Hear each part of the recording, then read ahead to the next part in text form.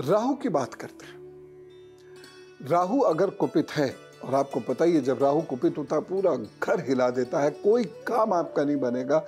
हमेशा आपको ऐसा लगेगा किसी ने कोई तंत्र कर दिया, सारे काम बाँध दिए हैं, संतान हो नहीं पाएगी, कुछ नहीं होगा। तो आप एक काम करना शुरू कर दीजिएगा। एक तो मछली खाना बिल्कुल छोड़ दीजिएगा। मछली से संबंधित कोई चीज़, जैसे फ़िश ऑयल वगैरह आता है ना, वह भी लेना बंद कर दीजिएगा। साथ ही साथ राई, खटाई, मिठाई, ये तीनों चीज़ें आप छोड़ दीजिएगा। राहु आपका ठीक होने लगेगा। इसके साथ जो बाकी उपाय हैं, जो मैं समय समय पर बताता रहता हूँ आपको, वो तो आप कर ही लीजिएगा। ये उपाय आप करेंगे तो राहु आपका अच्छे परिणाम देगा। ऐसा समझिए, राहु को आप अपने अंदर से निकाल के बाहर फेंक रहे हैं। फिर तो बाहर तो मुक्केबाजी हो ही जाएगी, कोई दिक्कत नहीं।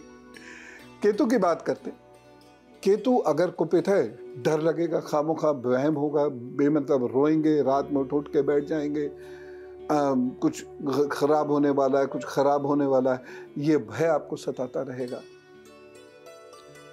तो ऐसे में क्या छोड़ना है? उड़द नहीं खानी है। ऐसे फल जिनमें बीज होते हैं अंदर वो नहीं खाने हैं। और बेल पर लगने वाले फल जैसे कद्दू आदि, ये भी नहीं खाने हैं। नहीं तो ये केतु आपको बहुत परेशान करेगा। एक टिप और देता हूँ। शरीर में यदि बृहस्पति खराब होने के कारण कुछ रोग हो रहे हो तो हल्दी ज़रूर ले लीजिएगा। ये एंटी इन्फ्लेमेटरी एजेंट है।